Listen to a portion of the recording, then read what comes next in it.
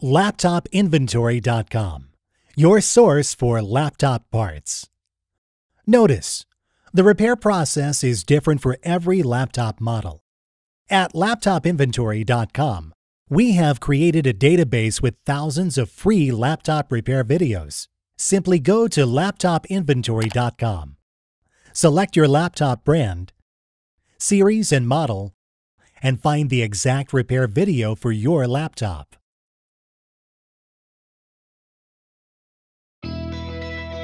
Turn the laptop over.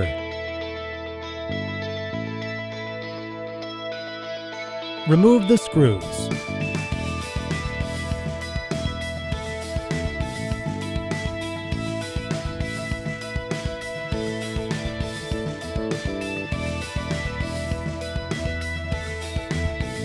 Remove the optical drive.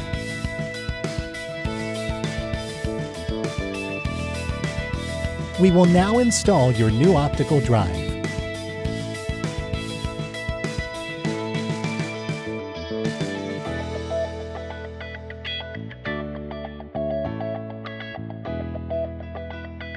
Place the screws back in.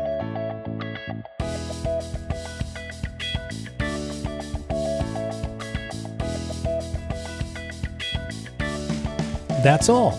You just installed your new optical drive. LaptopInventory.com, your source for laptop parts.